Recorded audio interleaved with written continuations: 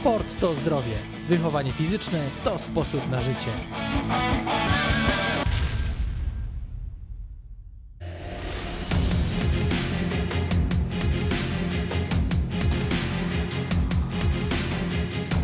Nowe Centrum Skłosza Redeko www.redeko.pl Pierwsza część spotkania poświęcona została kwestiom relacji Polskiego Związku Piłki Siatkowej z Dolnośląskim Związkiem Piłki Siatkowej. Wszyscy zgodnie stwierdzili, że współpraca układa się pomyślnie i na partnerskich zasadach. Dolny Śląsk to bardzo ważny i kreatywny region na mapie polskiej siatkówki. Rozpoczął Paweł Papkę, prezes PZPS. Dodał, że wrocławska hala stulecia jest szczęśliwą dla naszych reprezentacji, a magistrat jest bardzo przychylny wydarzeniom siatkarskim. To Wrocław właśnie jako pierwszy podjął decyzję, że chce pełnić godność miasta gospodarza Mistrzostw Świata. Działacze z Dolnego Śląska zadeklarowali, że będą zabiegać, by wrocławska hala stulecia mimo rosnącej konkurencji nowych obiektów w innych miastach była areną Mistrzostw Europy Mężczyzn w roku 2017 oraz innych wydarzeń siatkarskich. Wrocławska AWF złożyła naszej siatkarskiej centrali ofertę współpracy. Tradycja, potencjał, nowoczesność uczelni powodują, że AWF chce współpracować w trzech wymiarach: kształceniu trenerów,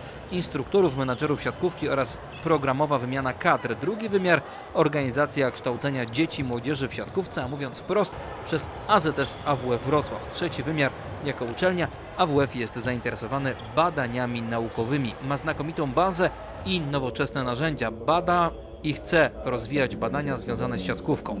Wielkim entuzjastą promocji siatkówki w wymiarze akademickim jest profesor Andrzej Rokita, który podkreśla, że w jego klubie trenuje ponad tysiąc osób w 18 sekcjach. W siatkarskiej, którą zaczęto tworzyć dwa lata temu, jest 160 osób w wieku od 5 do 17 lat.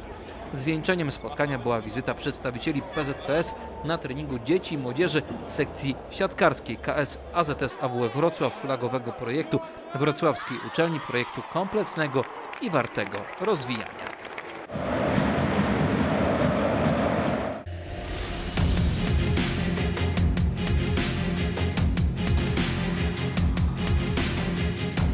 Nowe Centrum Skłosza Redeko www.redeko.pl Sport to zdrowie. Wychowanie fizyczne to sposób na życie.